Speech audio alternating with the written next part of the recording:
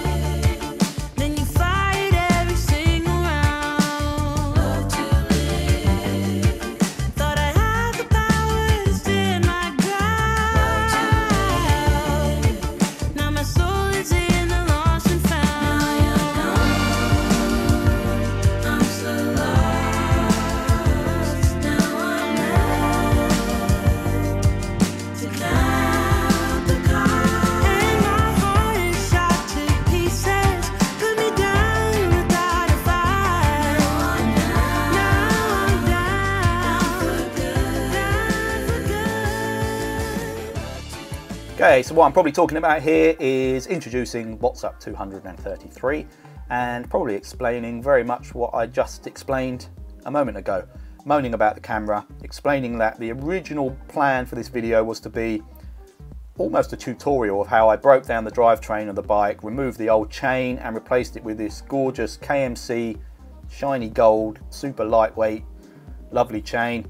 And um, the point of this video was to be test of that chain and some squirt water and wax lube I think it's called. Um, but obviously the focus problems with the DJI meant that most of that footage is complete garbage and I couldn't use it. So the video has taken a, a slight turn.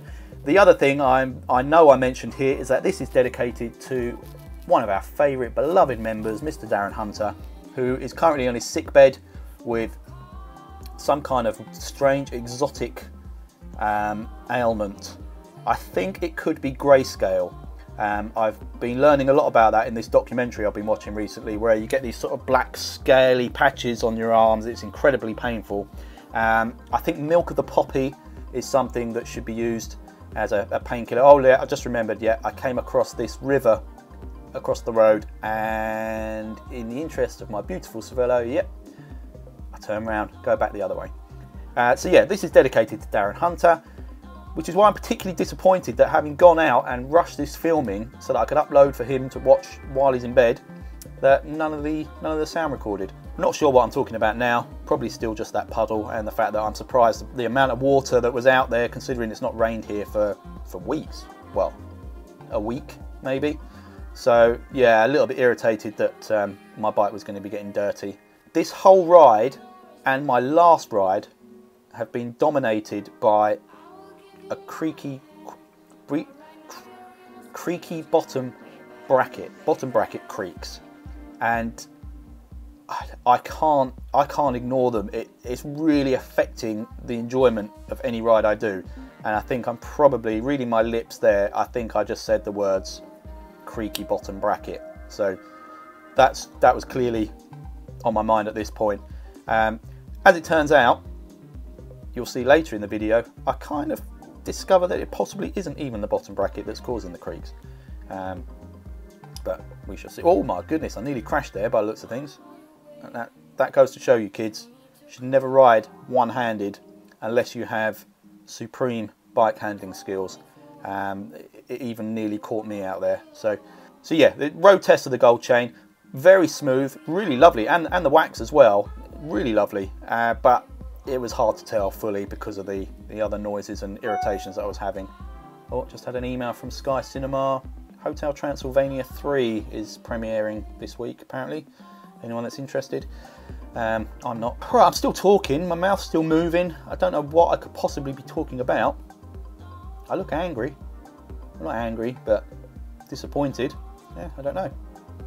I know my intention here was to ride. Oh, there we go. Look, I was going to say was to ride a bit, find a nice spot to pull over, and properly take you through the um, the chain, give you a better look at it.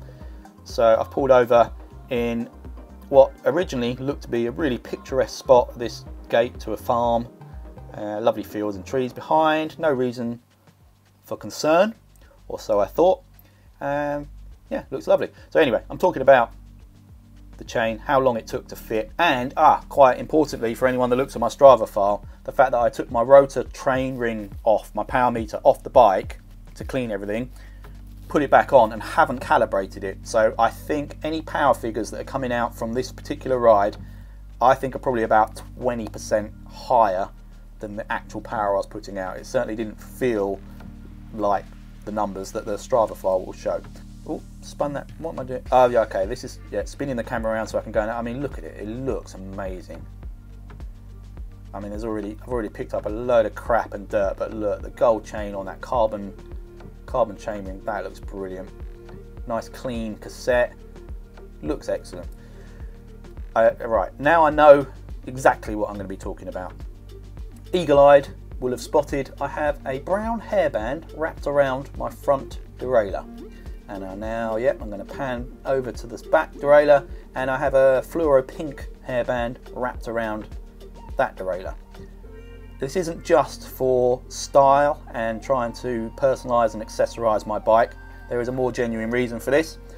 I'm going to do a whole other video, which is going to be my sort of year-in test of ETAP.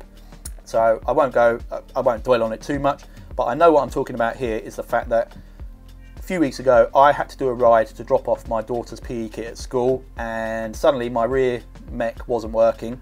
Having fallen foul to the not remembering to charge my battery before, I figured that was the situation, and but I was pretty convinced I had only charged it a day or two before. Uh, anyway, jumped off uh, with a view to swapping the front derailleur battery with the rear derailleur battery to give me more choice of gears. As I took the rear battery off, I noticed the little plastic clip that holds the battery in place had snapped off. So at that point I was already pretty angry.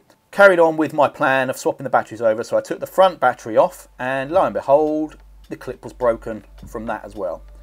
So, I mean, apparently there have been loads of cases of this. Having researched it since getting back, there, there have been loads of complaints about this. SRAM want nothing to do with it, and they're, they're not acknowledging any kind of design flaw or anything like that. Um, but surely there are too many people for this to have been a, a coincidence. Um, I think that hand gesture I just made there was to demonstrate that although the batteries do stay clipped in place, they do the, the bottom of them moves out, which moves them away from the connecting pins, which is why my rear derailleur stopped working.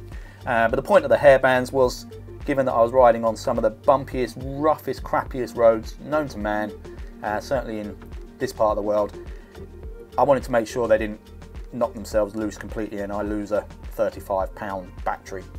Um, so anyway, the hairbands are there as a, is it a bodge or a hack? I don't know. Maybe I'll send it to GCN to determine. But uh, they're there basically to make sure until I can come up with a more elegant solution other than spending another 35 quid on replacement batteries, um, really just to keep them in place. I'm still talking about it, which is amazing. Um, I've just explained it pretty well, I think, in that number of words. So I'm not sure what else I could be saying about it. Maybe, well, I'm not, I'm thinking about what I'm talking about. That's why I keep pausing in between sentences. Um, very unprofessional. I, I do remember what I was saying now, actually. I'd, as I've been doing in this voiceover, I've been really moany, and I was really moany in this video. And I remember, oh, I've just remembered something there as well. Ooh, ooh. Um, I remember saying that the first subscribers to my channel used to comment that they liked my channel because I had quite a cheery disposition and it was always quite positive and fun. I've really slipped away from that recently and it's, it's annoying me. So I'm actually being grumpy about the fact that I'm being grumpy. So please do slap me down if I continue in this negative mould. Um, I want to get back to being cheerful, smiley, happy with every single ride and every single Zwift race.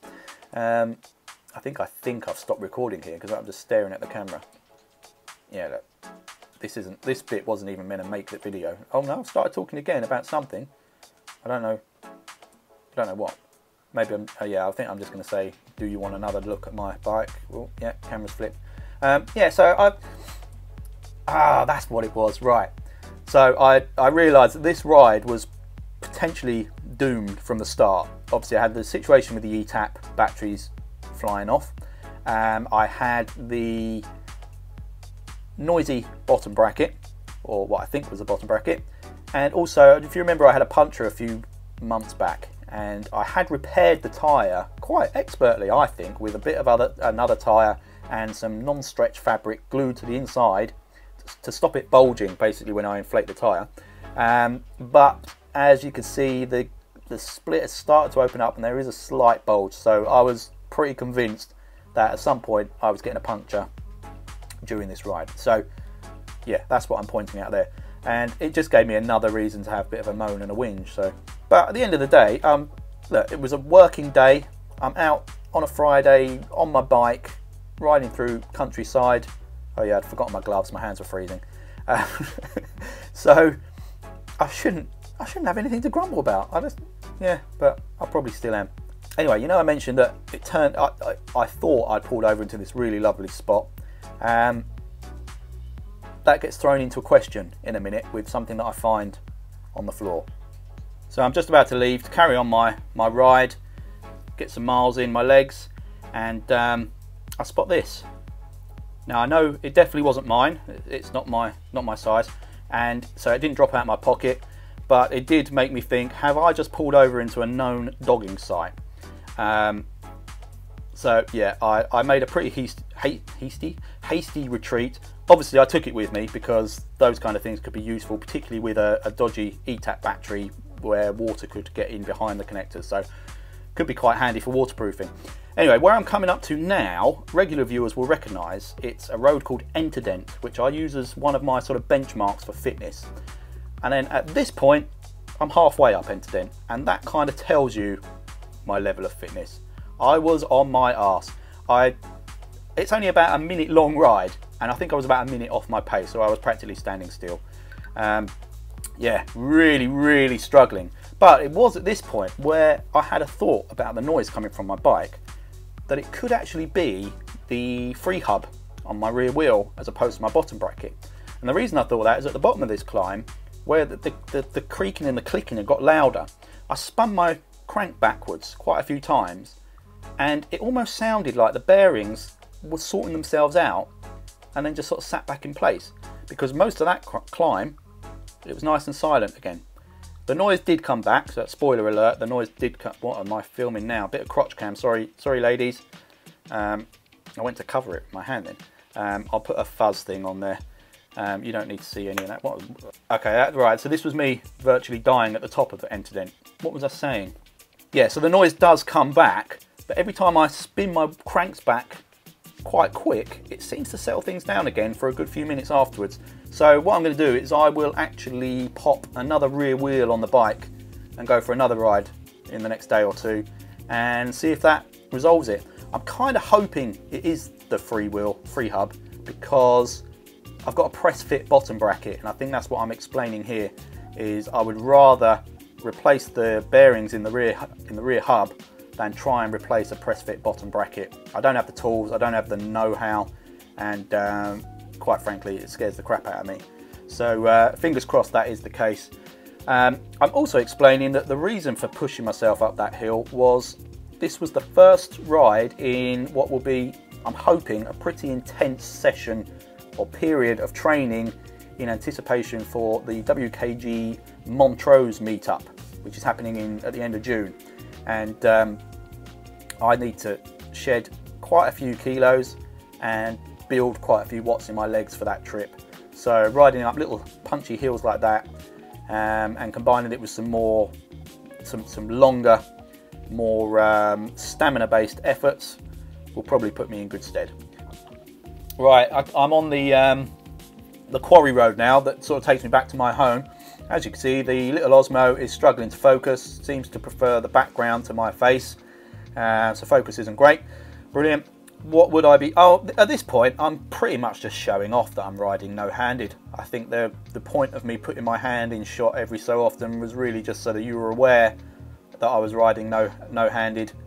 I can't see any other reason why I'd be doing that. Just demonstrating my balance and skills, and obviously I'm only brave enough to do that when I'm on a road that is completely empty, Ooh, which I almost very timely demonstrate with a little raise of the camera.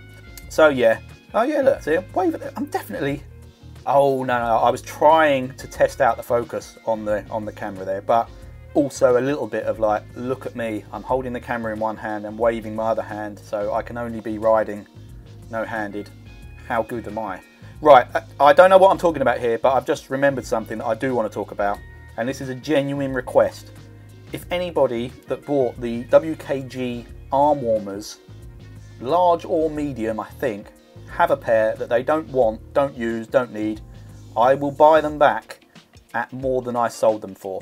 I'm desperate for them. I keep wearing these Castelli ones, and every time I put them on, bugs the crap out of me that I don't have official WKG arm ones. There we go. Look, I've done a nice close-up, just real timely little shot of the Castelli ones. They're fine, but I want the team ones, and I can't. I, I don't know when our next kit order will go in. Um, why am I just staring at the camera? God, I bet this must have been a fascinating video anyway.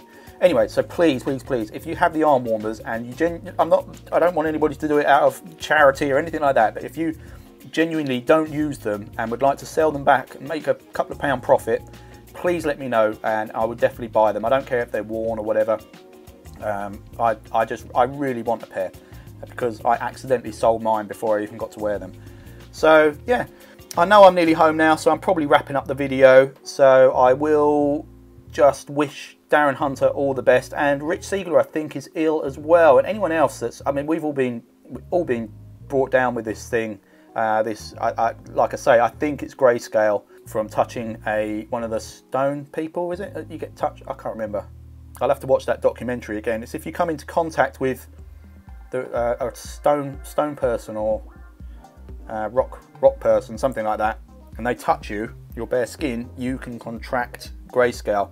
Uh, and you can only really be cured by a Grand Maester at the Citadel.